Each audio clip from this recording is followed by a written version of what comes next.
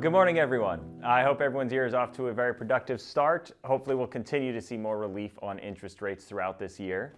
And I know we love all talking about rates getting better. So let's talk about something else I know everyone really loves, which is politics. And I'm just kidding, but only kind of.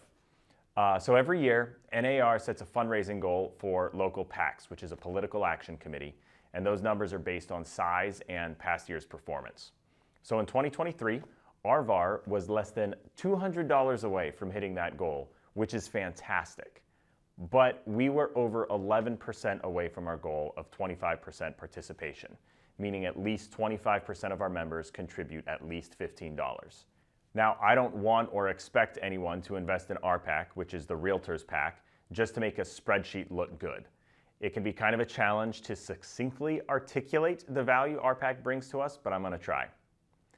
So every year, there are attempts at the state level to eliminate the mortgage interest deduction, which provides our clients, and many of us, with an additional tax write-off for the interest they pay on their mortgage.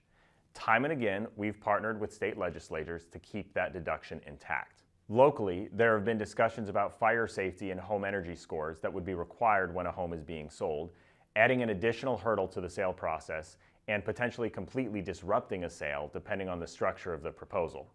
So through collaboration with elected officials, Oregon Realtors, NAR, and some very strategic marketing, RVAR developed a program that will better inform and incentivize our clients rather than placing prohibitive mandates on them with regards to fire safety.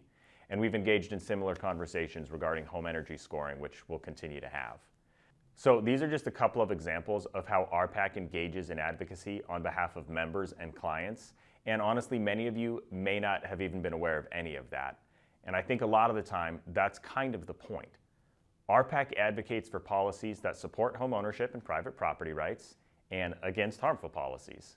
So when you don't notice a disruption to your business, it's because RPAC is succeeding in its goal. With that in mind, I'd love to see many first-time investors join us this year in contributing to RPAC so we can continue to protect our businesses and clients. Another piece of RPAC is engaging with local elected officials. Now, historically, we've done this in a number of ways. We conduct candidate interviews, we make independent expenditures, we financially contribute to independent campaigns. A few times in the past, we've curated a voter's guide, and occasionally, we've even publicly endorsed a candidate. One tool we've never used is polling, which many PACs utilize in order to be armed with information and position themselves as a valuable resource. We recently conducted some preliminary polling in Josephine County, and we'll be doing the same in Jackson County. These preliminary polls will help us understand the current political landscape and, as I mentioned, will provide us with valuable information. And hopefully it'll put us in a position where elected officials, potential candidates, and the public are coming to us for insight. If they continue to provide benefit, we'll do additional polling in the future with a more narrow focus.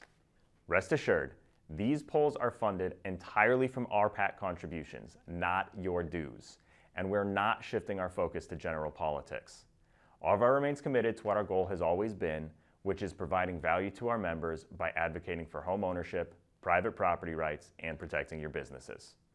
So if you have any questions about RPAC in general or any of the specific topics discussed here, I'd love to connect with you. And as always, if there's anything else you have questions or concerns on, don't hesitate to get in touch. Thanks, guys.